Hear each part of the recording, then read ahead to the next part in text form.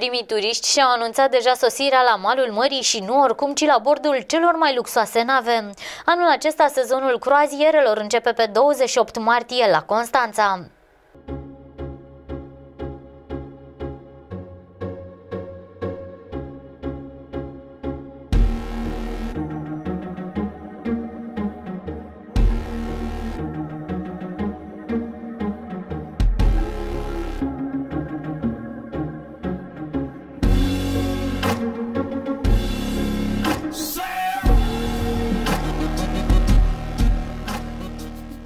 Turiștii străini vor ajunge în Constanța și pe mare. Primele nave de croazieră și-au anunțat deja prezența în apele Mării Negre. Primul vas care inaugurează sezonul de croaziere are escală în terminalul de pasageri din Constanța pe 28 martie. Pe parcursul anului, numărul embarcațiunilor ar putea ajunge la peste 40. Printre ele se numără și Royal Clipper, una dintre cele mai luxoase nave de croazieră din lume. Ea are programate două escale în portul Constanța, una în luna mai, iar cea de-a doua în luna iunie.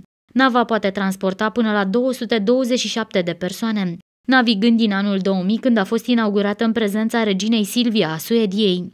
Reprezentanții terminalului de pasageri sunt de părere că numărul navelor de croaziere ar putea crește în următorii ani.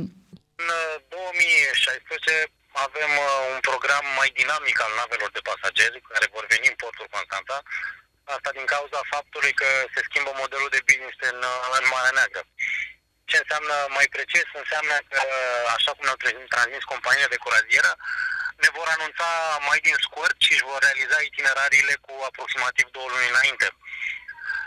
Noi uh, suntem încrezători uh, că în portul Constanța vor continua să sosească nave de pasageri.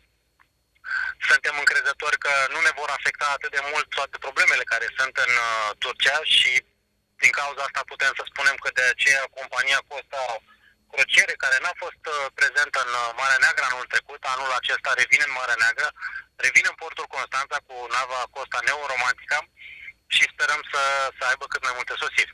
România încearcă să profite de pe urma conflictelor din Ucraina și Turcia și vor să atragă mai multe vase de croazieră către țărmul românesc.